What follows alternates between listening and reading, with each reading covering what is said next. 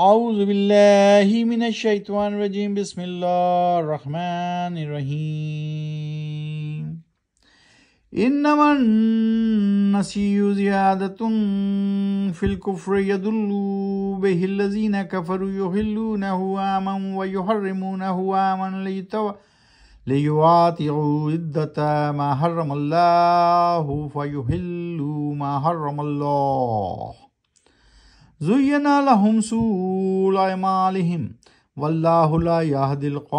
काफिरीन अभी आपके सामने आयत नंबर थर्टी सेवन सूरत तौबा, पारा वालमू की तिलावत की गई। आज हम करेंगे थर्टी सेवन से फोर्टी तक की तिलावत और उसका तर्जुमा देखेंगे।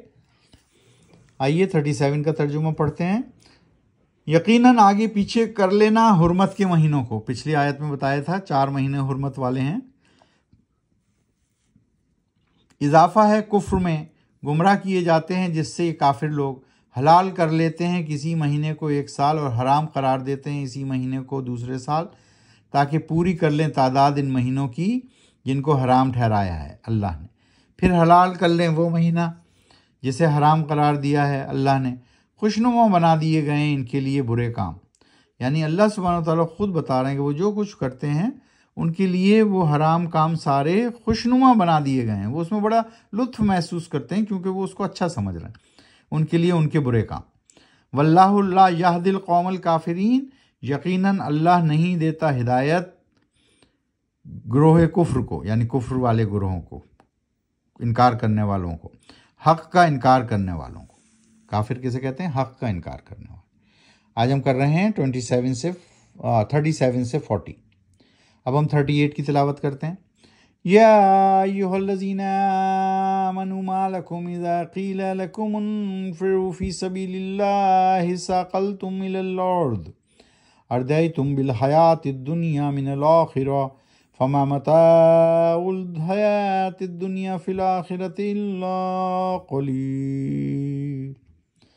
ए लोगो, जो ईमान लाए हो क्या हो गया है तुमको कि जब तुमसे कहा गया कि निकलो जिहाद के लिए, यानी अल्लाह की राह में तो तुम चिमट कर रह गए ज़मीन से? क्या पसंद कर लिया है तुमने ज़िंदगी को दुनिया की, बदले में आखिरत के? नहीं है ये फ़ायदा ज़िंदगी का, दुनिया की, बदले में आखिरत के, मगर बहुत कलील और थोड़ा सा। तो दुनिया तो बहुत थोड़े अरसे के लिए है तो अल्लाह सुबहान ताली बता रहे हैं कि क्या तुमने दुनियावी फ़ायदों को, आखिरी फ़ायदों पर तरजीह दे दी है जो तुम जिहाद के लिए नहीं निकलते, जो तुम अल्लाह का पैगाम दुनिया में नहीं फैलाते। तो जिहाद की तरजीहात में से शामिल है। अल्लाह सुबहान ताली ने बार बार कई मौक़ों पर इसका ज़िक्र किया है और उसको सख्ती से ताकीद भी की है कि तुम जिहाद के लिए निकलो। आयत नंबर थर्टी नाइन। अला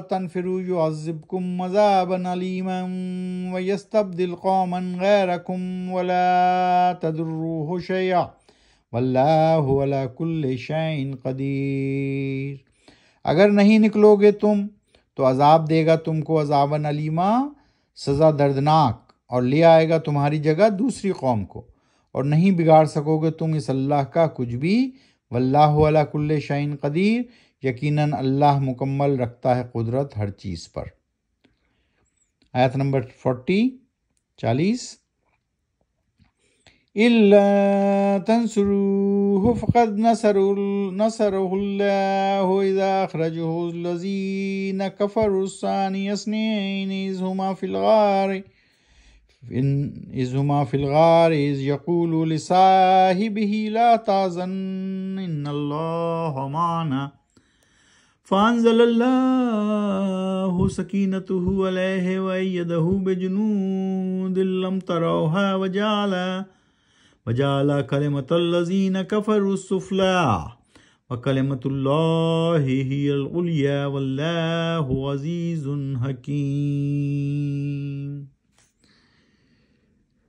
और अगर नहीं मदद की तुमने नबी सल्लल्लाहु अलैहि वसल्लम की, यानी जिहाद में उनका साथ दो तो कुछ परवाह नहीं, यकीनन मदद की थी अल्लाह ने उसकी, उस वक्त भी जब निकाल दिया था उसको उन लोगों ने।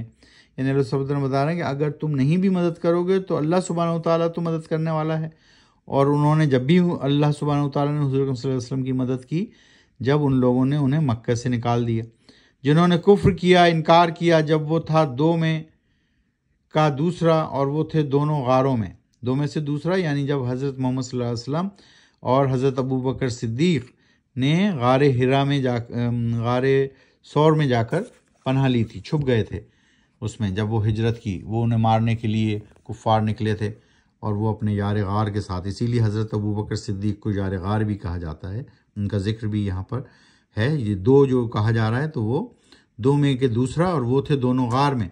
और जब कह रहा था वो अपने साथी से कि, नहीं गम करो, यकीनन अल्लाह हमारे साथ है फिर नाजिल की अल्लाह ने अपनी सकीनत, यानी सुकून दिल का, उस पर और इसकी मदद की अपने नबी सल्लल्लाहु अलैहि वसल्लम की। ऐसे लश्करों से जो नज़र नहीं आते थे तुमको।